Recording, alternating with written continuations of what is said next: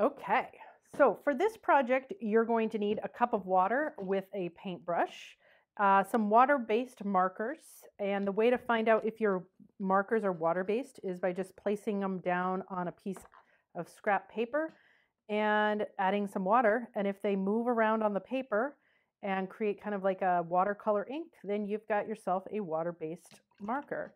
So Crayola markers are usually water-based, so you should be fine if you collect those. And then for some paper, so the paper you want to use for this project, I would su suggest a mixed media paper, kind of like this one here uh, from Blick Studio. It is an 80 pound paper. Um, something like a watercolor paper is 140 pounds. Um, and your printer paper is about 40 or 50 pounds. So you can see that the heavier weight paper uh, is going to is a thicker paper and it's going to absorb water better. Um, so 80 is just fine, but if you do use a printer paper, your results just might vary and you might get wrinkling in your paper, but that's okay. You can still create. So you can see uh, with my markers, I've already laid them out in a scale of light to dark in my color. So my color value lightest to darkest in the purple, in the blue and in the green. So you'll want to just check and get kind of your value scale going with that. I'm going to start out by using just my purples in this project, and then I think I'm just going to add blue for a sky.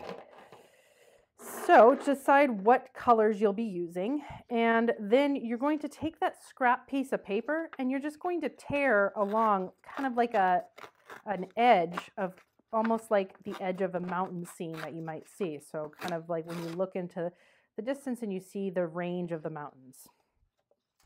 And you're going to start by placing that down on your little piece of paper uh, where you want it to start. So like what edge you want.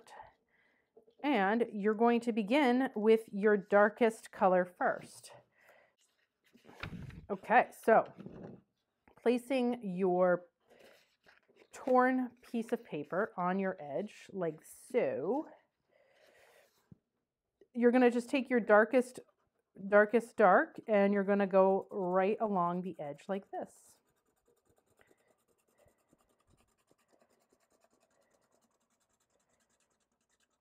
And right to the edge there. And then you're going to bring that up just a little bit like so. And you're going to do your next color.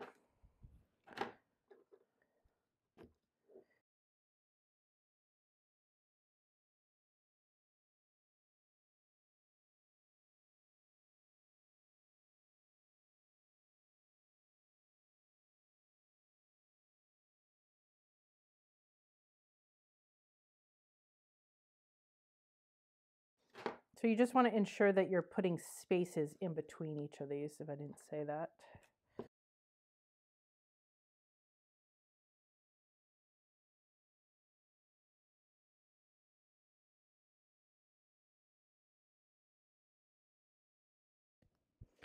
All right, so this this marker wasn't didn't work very well. It doesn't have a lot of ink in it.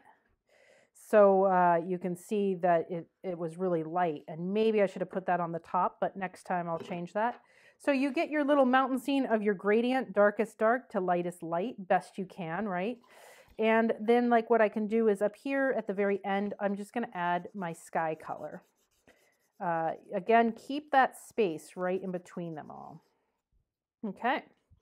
And then what you're going to do is you're going to start by doing your sky and coming down to your dark. So from your sky to your lightest to your darkest.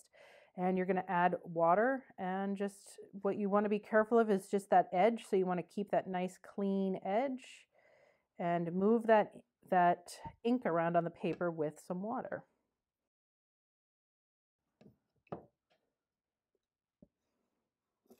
Might need to twist your paper to make it easier to blend those colors together.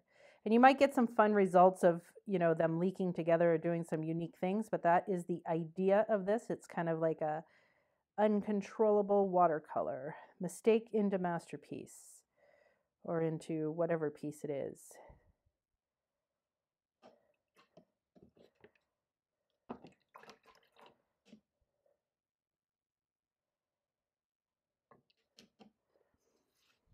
You can tilt it up and it will do some fun things like run into the next one and keep going. All right, and there you have it, a fun gradient landscape. Uh, have fun. I think I'm going to do another one. What are you going to make?